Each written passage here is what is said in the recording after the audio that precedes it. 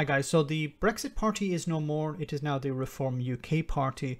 They have their eyes set on Scotland because in May this year there will be the Scottish elections for the Parliament and they are hoping to pick up a few seats. Now, in order to do so, they need a leader in Scotland, someone to organise um, the election campaign.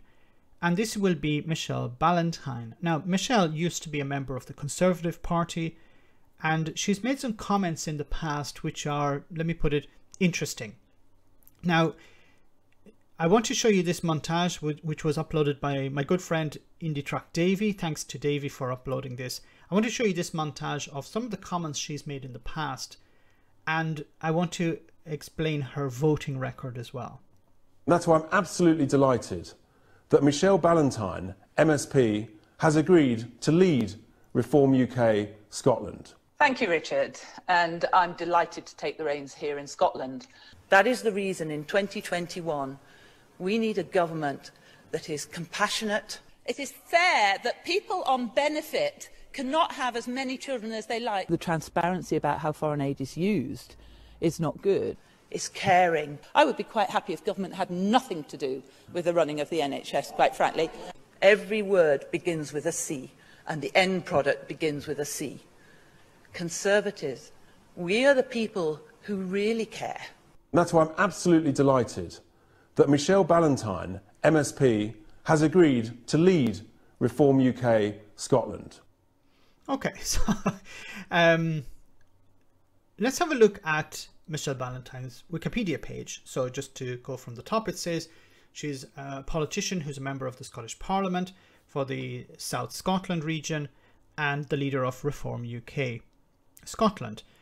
Now, there are some political controversies surrounding Michelle and her behaviour. So, during a meeting of the Scottish Parliament's Social Security Committee, Ballantyne claimed that there's no such thing as a bedroom tax, disagreeing that uh, restrictions to benefits are equivalent to paying of tax. She also said um, she also criticised the SNP's record on healthcare within a speech to in the Scottish Parliament. Ballantyne said that she was quite happy if the Scottish Government had no role in running the NHS in Scotland. Now, this is anti-devolution. It's not that she said she's she's quite happy that the SNP have no role in running the SNP uh, the uh, the NHS in Scotland. She didn't want the Scottish government running the NHS, so she would prefer that Westminster ran the NHS in Scotland not the Scottish people. Okay, now she's made some ridiculous comments, um, uncaring comments about the poor, about people on welfare, which is interesting because if we look at her voluntary work, it says here Ballantyne is a um, is a patron of the food bank of a food bank in Pennyclough. Now, how can you be someone who is donating to a food bank but would prefer people to remain poor? What I'm talking about here is let's have a look at her voting record. So this is uh, a bill that was put forward by the SNP. It's called uh, Achieving a Fairer Scotland. So in this, they talk about how um, universal credit, this uh, two-child um, two-child cap, the rape clause, things like this have to be resolved. And if the Scotland needs to do more to tackle inequality and poverty. And they also agree that universal credit is not the, the way out.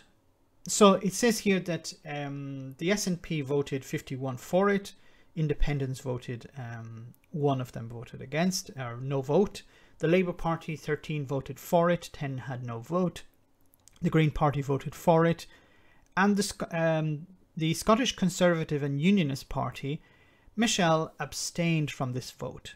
Now you would think that someone who'd be interested in dealing with child poverty or universal the problems of universal credit because you see it every day in the food bank you would think you would vote for this bill but she she abstained on it.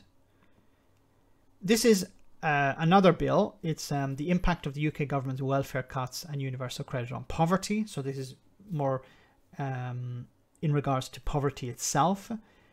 And this bill talks about how the universal credit um, so it says the UK government assurances given by the UK government that universal credit would not be uh, would not cut incomes. Some low-income families are exposed to uh, expected to lose on average uh, an average of 200 pounds a month. Further notes that the uh, appalling two-child limit has already reduced the income of 3,800 families in Scotland, and this number is set to grow year on year and result in a 92 million pound cut for families by 2020 to 2021. So how did she vote on this? Well, she voted against this. Then we have another one. We have this one on universal credit.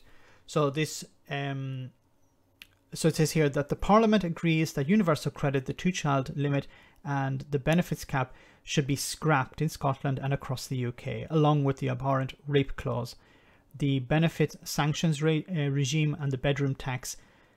Notes estimate that the UK government's social security spending will reduce by 3 3.7 billion pounds by the next year. This was um, this was conducted in 2019. So how did she vote? Uh, well, the SNP voted for it. Liberal Democrats voted against it, and Michelle voted against it if you are someone who donates to a food bank, you would think that you would see firsthand the impact of universal credit, the, the impact of child poverty, and you would try to fix that. You, as an elected member of the Scottish Parliament, would say, I want to fix these problems. I see the impact every day we cannot tolerate this poverty. This poverty should end. Food banks exist because the government does, isn't doing its job. There shouldn't be poverty. We should try to eliminate poverty. Food, a food bank is a stopgap measure. Government should eliminate it, should eliminate poverty.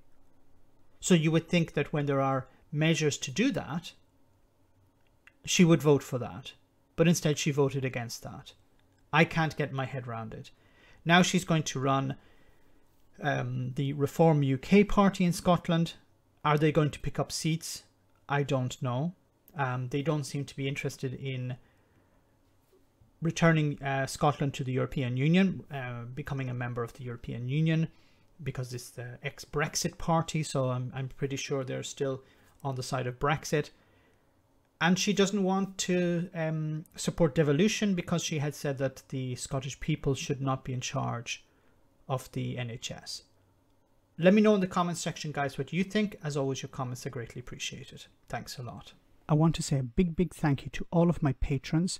You ensure that this channel continues to exist. I'm eternally grateful for all of your support. If you join Patreon, you will receive instant access to our Discord server where we have both audio and video chats you can chat with me and other patrons where we discuss important and non important issues. Becoming a patron per month costs about the same as a large coffee, so why not check it out?